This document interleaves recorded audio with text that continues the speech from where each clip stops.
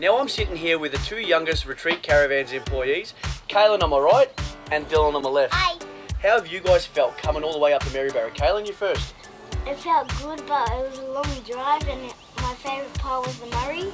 You like the Murray? Yeah, because we had a nice little fish. Okay. And Dylan?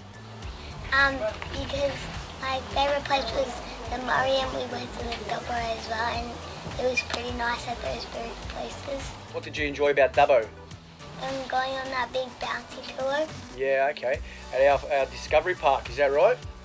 Fantastic. Now, boys, uh, we've been at uh, Maryborough now for a couple of days.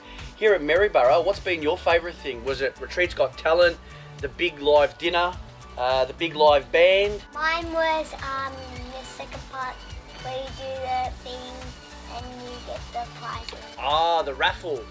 Now, you won a, a prize in the raffle, Dylan, didn't you? What'd you win?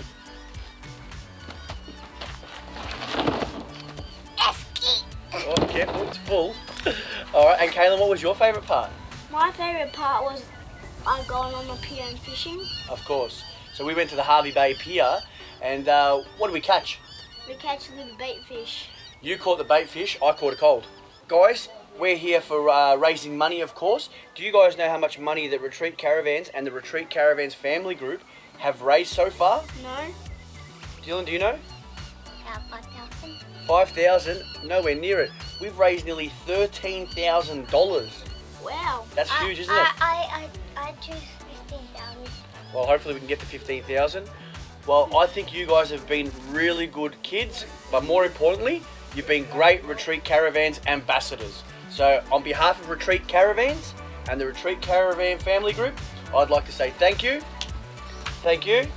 All right, and we might see you at the next rally. What do you reckon? You're gonna come? Yeah? Fantastic. Dylan? All right, let's finish this one off. All right, we're out.